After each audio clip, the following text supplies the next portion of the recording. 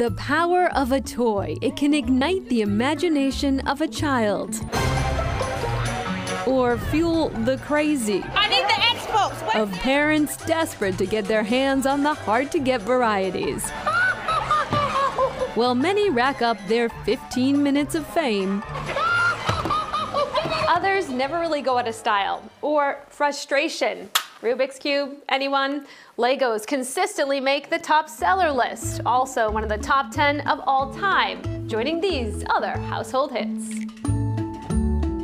Toys are a $90 billion worldwide industry. Americans dished out $27 billion in 2019. Here in Massachusetts, the industry's economic impact is more than 3 billion each year. But early roots of the toy industry can be found in the most understated and bucolic of places, where the echo of toy making dates back to the pre Civil War era. Wow. This is the last surviving toy and block shop in America. One of the first toy manufacturers in the United States, in our own backyard, Hingham, Mass, on a multi generational farm. The shop as fascinating as the story behind it. It was all covered with vines. The windows were knocked out, the chimney was knocked out. It was like the Leaning Tower of Pisa. In 2006, Peter Hersey was settling his parents' estate, a process that began in this old shed. Despite growing up here, he never stepped foot inside, and neither did anyone else, not even a peek. We were never allowed to play in it as kids. It was a big no.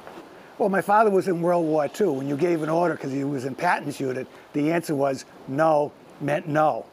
Under lock and key for more than a century. My grandfather locked the building when his father died, who was the toy maker. It was basically a gem that was lost. It's a time capsule in time, which is why none of the uh, experts knew it existed, and none of the experts knew the toy industry really started in Hingham, Massachusetts. Inside, completely preserved building blocks of toy history, from the original paintbrushes to tools and countless wooden trinkets. Hingham has long been known for its early woodenware history, leading to the nickname Bucket Town.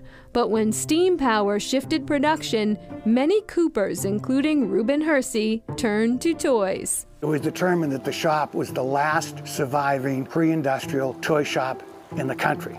So the shop contains the original raw materials, the original account books, the original tools. From buckets to the miniature version, butter churns, beds, and tiny elements of everyday life. This is amazing, like a little water bucket. Incredible details. So this would have been in a dollhouse. In a dollhouse in the kitchen. And they're all still in there. Still in there. This is amazing. Unearthing a story of a time when patience and skill served up ingenuity. You scoop the sand up, you put it in there. There's only three known. I own two, and the Shelburne Museum owns one. Peter says the discovery of the toy shop brought him closer to his own personal family history. Clearly emotional. This is Reuben Hersey's toy chest, his box chest he did all his work in. And after hiring historians and discussions with countless museums, a new outlook on old beginnings. And we came to the conclusion the organized toy industry in America started here in Hingham with the wooden toys long before the cast iron toys. It may have started here, but head west for a look at how far toy manufacturing has come. Inside this 1 million square foot facility in East Longmeadow, they are spinning out some of the world's most iconic games. We make Play Doh, you know, Monopoly, Battleship, Sorry, Trouble. Once home to Milton Bradley, passing through the hands of Hasbro and now Cartamundi. 500 employees with one mission. At the end of the day, what we do makes people smile. The process is high tech.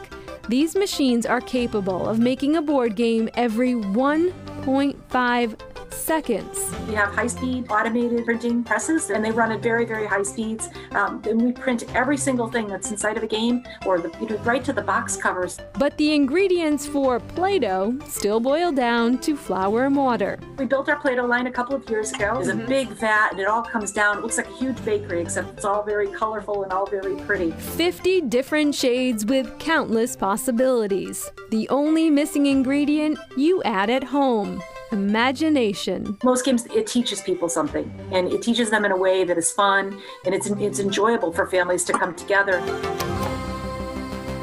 And Cartamundi prints more money than the U.S. Mint every year. Monopoly money, of course. The company also makes the iconic bicycle playing card, first developed in 1885. Much more information about all of this on our Chronicle podcast. And back to Hersey Farm, you can read about the history of Hingham Coopers in a book called Bucket Town. Up next, this is definitely a 2020 toy.